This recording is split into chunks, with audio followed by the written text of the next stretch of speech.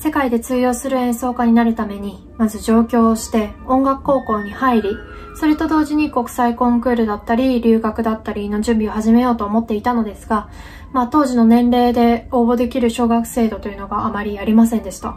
えー、ヤマハの奨学金制度には、コンクールで入賞されている方が多くいらっしゃいましたので、まあ、早くそれに追いつきたいなという思いもあってチャレンジしました。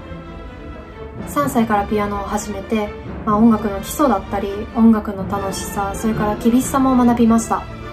超音やソルフェージュというのは小学生の頃から始めていたので、まあ、音楽高校に入ってからは、まあ、全てをより深く理解し学ぶようにしました。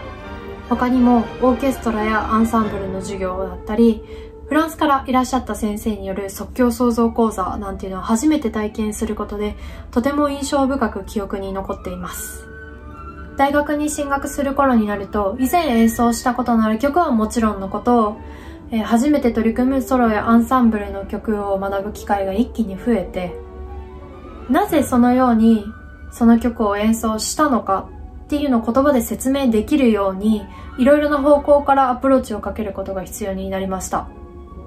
私は言葉で説明することっていうのが少し苦手なんですけれど、まあそんなことも言ってられなくなりました。